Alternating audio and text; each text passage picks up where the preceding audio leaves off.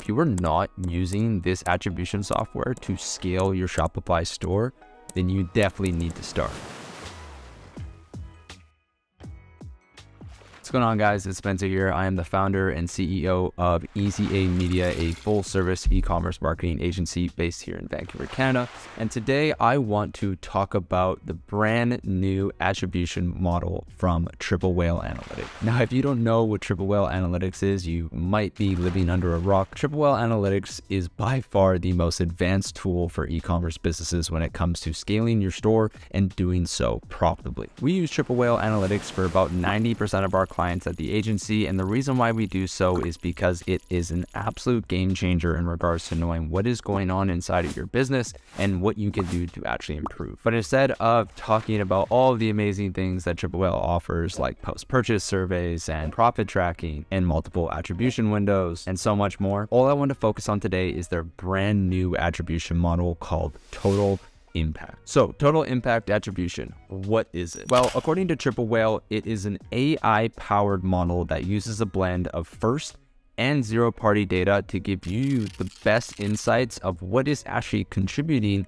to your overall store revenue. Now, when it comes to attribution, there can be a lot of issues. We've seen Facebook severely underreport, we've seen Google severely overreport, and in some cases, we've seen Facebook dramatically overreport and Google underreport, although that's pretty rare because Google loves its attribution. Hence the name Total Impact. What it's essentially telling you in layman terms is the impact that your ads or that certain platforms are actually having on your business. So what I want to do today is jump into Triple Whale and give you a live example of what the total impact attribution window looks like alongside all of their other attribution platforms so you can scale your e-commerce brand confidently. So as you can see, we are now loaded up inside of Triple Whale Analytics and we're looking at one of our clients over the last 30 days who's obviously having a pretty good month um, despite the ad spend that we're spending on here. But if we take a look at the overall pixel results from Triple Whale, we can get an idea of what each platform is reporting and what the actual total conversion value is. So if we look at Google and Facebook, we can see that we have a 14.27x return on ad spend reported by Google.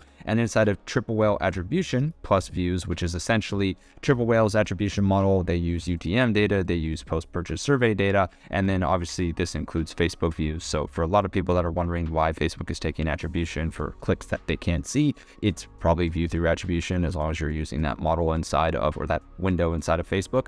But as you can see, a 13.47x return ad spend on Facebook, a 14.27 on Google. And then if we check Triple Whale, Triple Whale actually had a little bit more at a 16.91 and Facebook at a 13.54. Now, this was the window that we were using for our clients at the agency, but as you're about to see when I switch over to the new attribution model, things are going to change quite a bit. Now, if we take a look at the total impact attribution model, now I know for some agencies, they're obviously going to want to look at what Facebook and Google and what triple attribution is reporting.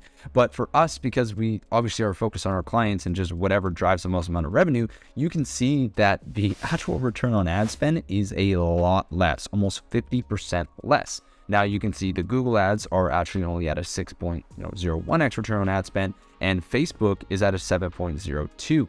Now, what's very interesting about this and the reason why this is happening is because a lot of times with these ad platforms, they'll take attribution for a sale that really doesn't have that much of an impact. For example, Google branded search a lot of people are going to just search for you naturally. And just because they click the URL at the top that says your company's name, Google is going to take attribution for that, but at the end of the day, that's probably not the reason why they purchased. Basically, with this total attribution or this total impact attribution window, what it's doing is it's going to actually aggregate everything based on what has the, the highest impact and what actually was responsible for that sale. And you'll notice inside of here that there are 0.7, 0.6, 0.1, 0.4 of a purchase. And the reason why that is, is because this takes into consideration all of the sources that you have. So organic and social, Klaviyo, Google, Facebook, PostScript, TikTok.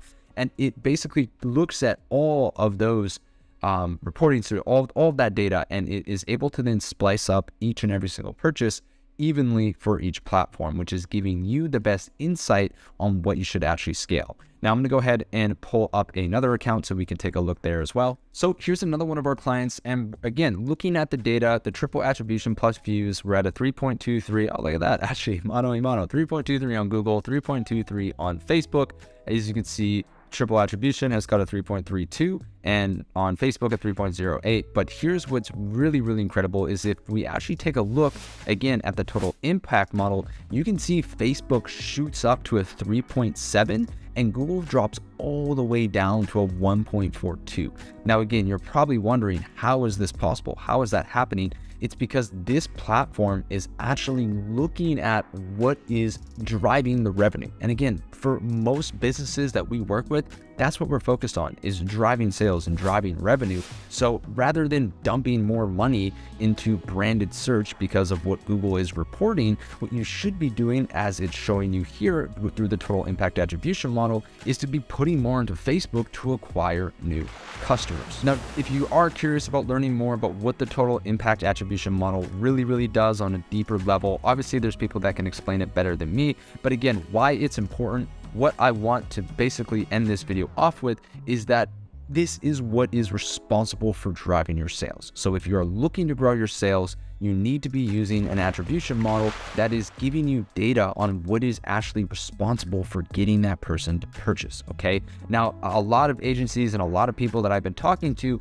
will say that after using the total impact attribution window, whether it improves performance or whether it decreases your, your performance, it feels a lot more like what you would expect. And so that's exactly that, you know, that hunch, that gut feeling that people tell you to trust is definitely spot on with this. One thing I want to mention before I end the video is that you do definitely need to still pay attention to what Facebook is reporting, what Google is reporting, because at the end of the day, that is what the data that the platform has is what it's going to continue to optimize around. But in regards to your overall strategy of what platforms you should be pushing and what is having a big impact on your sales, we definitely are using total impact to know where to put more budget, how to grow revenue more profitably, and how to get more customers. So that's it for today. Again, if you enjoyed this video, make sure you click like, you subscribe, and leave a comment down below if you want some more information. Also, if you are interested in trying Triple Whale, our agency actually has a 15% off discount code that you can use at checkout. If you really break it down, depending on your store's revenue, Triple Whale can cost as little as 10 to $15 a day. And if you consider what that does for your ad spend and based on how much you're currently spending, that's actually a fantastic deal for all of the information that it provides. And last but not least, if you are a multiple six or seven figure Shopify brand looking to take your sales to the next level, I want to encourage you to book a time with my team down below to see if we can provide some value to your business and set up Triple Whale for you as well. Thank you again for taking the time to watch this video and have a fantastic rest of your day.